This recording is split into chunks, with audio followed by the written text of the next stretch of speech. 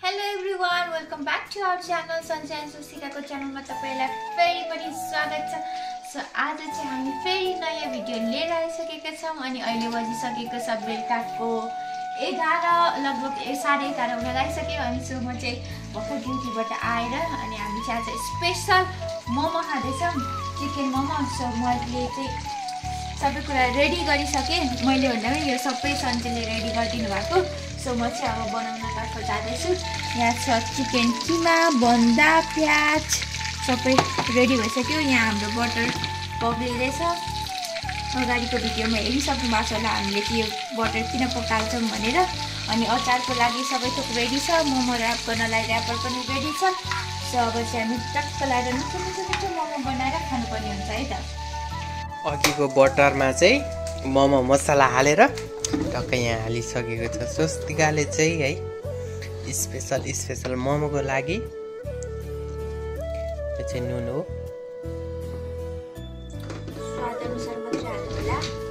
बस अब मोलिदिनु पर्ने हुन्छ यसलाई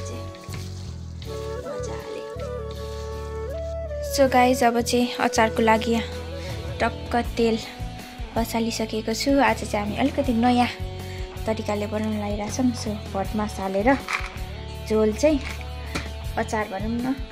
अनि टमाटर प्याज लसुन अदुवा होइन लसुन अदुवा यहाँ छ तिल। तिल चाहिँ सिद्धिन लगाएर एकदम कम रहेछ। सो हामीले चाहिँ भटमास हाल्ने निर्णय गऱ्यौँ। लेसी भटमास हालेको चाहिँ कस्तो हुन्छ है त? सो सबभन्दा पहिला चाहिँ म यही भटमासै हालेर बुट्नेवाला छु।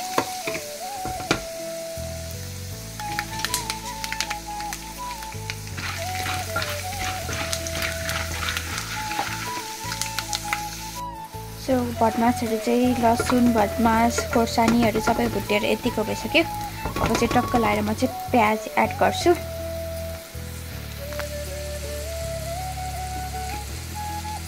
टक्क लाएर प्याज हाल्नुपर्ने हुन्छ।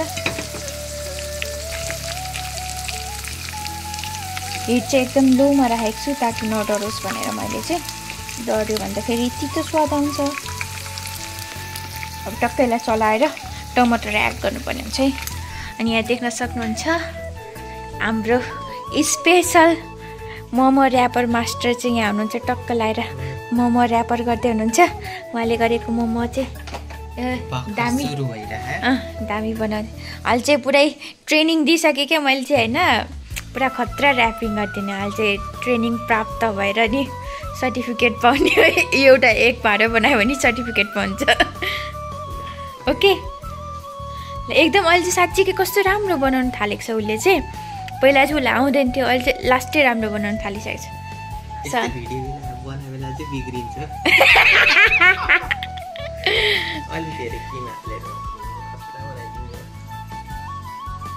गाइस मोमो चाहिँ प्याकिङ पनि भएर रेडी भइसक्यो। अब बस यसलाई बोइल गर्न मात्रै बाँकी छ।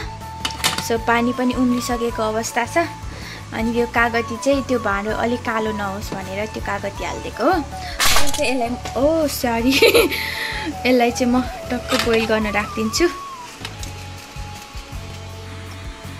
सो टक्क मैले चाहिँ बोइल गर्नलाई पनि राखिसकेँ। अब टक्क दस मिनटपछि चाहिँ यो मोमो खानालाई रेडी हुन्छ। देख्न सक्नुहुन्छ हाम्रो चाहिँ मोमो रेडी भइसकेको छ। सो गाइस देख्न सक्नुहुन्छ मोमो चाहिँ रेडी भइसक्यो अनि यहाँ मोमो खानालाई चाहिँ एकदम हतारिँदै हुनुहुन्छ। अनि यहाँ चाहिँ हाम्रो झोल अचार यो चाहिँ एकदम स्पेसल अचार भटमास हालेको अचार है। सो मोमो चाहिँ रेडी झोल पनि टक्क हाल्नुपर्ने हुन्छ है त। मस्त। झोल हालेर खानुपर्छ है मोमो चाहिँ। ल आज चाहिँ झोल मोमो हो। चिसो चिसो मौसममा झोल मोमो।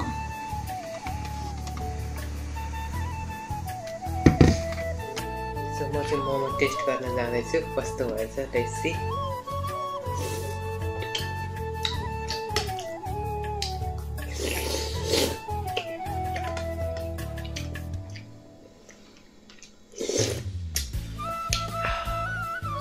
तातो तातो झोल मोमो दामी भएछ।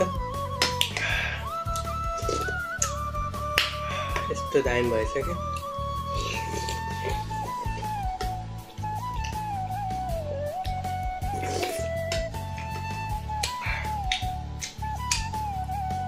सो मोमो चाहिँ दामी भएको छ। सो अब आरामले खानुपर्ने हुन्छ अनि भिडियोलाई चाहिँ यहीँ इन गर्नेछौँ।